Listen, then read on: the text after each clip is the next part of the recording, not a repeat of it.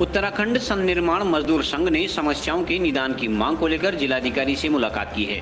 मजदूर संघ ने कहा कि संनिर्माण मजदूरों की सहायता के लिए राज्य सरकार द्वारा कोई भी प्रयास नहीं किए जा रहे हैं, जिस कारण मजदूरों के समक्ष गंभीर आर्थिक संकट पैदा हो गया है। मजदूरों ने चेतावनी दी है कि यदि समस्याओं का निदान नहीं किया गया तो आंदोलन तेज किया जाएगा।